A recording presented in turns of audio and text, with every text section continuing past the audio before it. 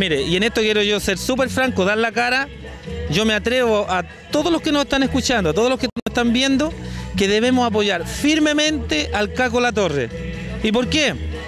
Porque el Caco La Torre es un político que lo conozco, sé de su trayectoria política, sé del trabajo que ha hecho en su distrito, sé del compromiso que ha tenido en esta región con los agricultores, con el deporte, con los estudiantes.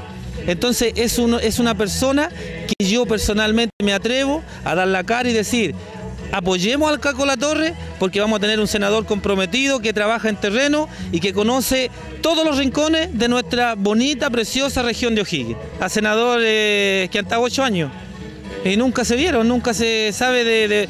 Yo no conozco de un proyecto que digan, este lo presenté yo para ayudar a los agricultores, este proyecto lo peleé yo para ayudar a los estudiantes, desconozco.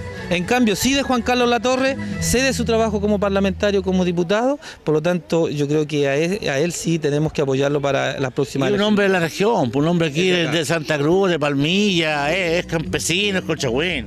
Bueno, todo el apoyo para el CACO, cuenta con mi apoyo y también me atrevo a pedir el apoyo para él a todas las personas que nos van a estar escuchando y viendo a través de su, de su programa. de su TV canal. chileno, a Canal través de, de TV chileno.